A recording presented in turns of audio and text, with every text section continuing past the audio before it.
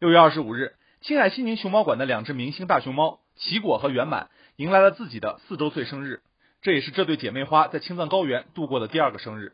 西宁熊猫馆为他们举行了盛大的生日活动，海内外众多粉丝纷纷通过线上和线下的方式表达着对他们的祝福。生日活动当天，恰逢中国传统节日端午节，西宁熊猫馆为了迎合这样的喜庆气氛，除了为他们特制的火龙果西瓜生日蛋糕外，还用冬瓜做了龙舟造型的大餐。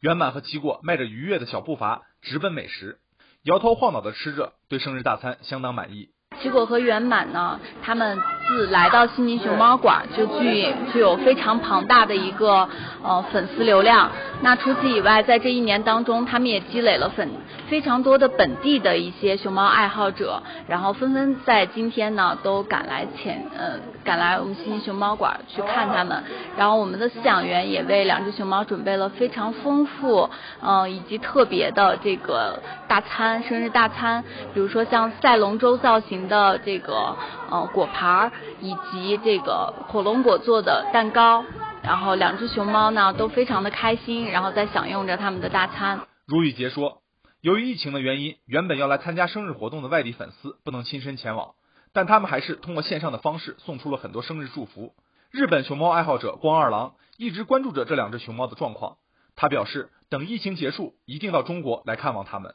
我们来自这个等于说是世界各地的粉丝，对我们两只熊猫都发来了这个生日的祝福。特别有一些日本的这个长期的一个熊猫爱好者，还有一些来自就是北京，呃，他们因为这个疫情的原因都不能亲自到现场，今天来看两只熊猫过生日。那他们通过这个线上平台的一些渠道也。给两只熊猫发来了祝福，同时呢，也是希望通过自己的嗯他们的一些这个心愿祝福，然后让我们工作人员更加具有动力，然后将两只熊猫照顾的越来越好，越来越健康。哎，我看那个一进门的时候有一个大蛋糕，我还专门拍了，我说待会儿要发朋友圈这些。但是我看现在他们好像应该是拿水果吧做了一个这个，我觉得挺不错的，刚好又赶上端午节嘛，我觉得特别好。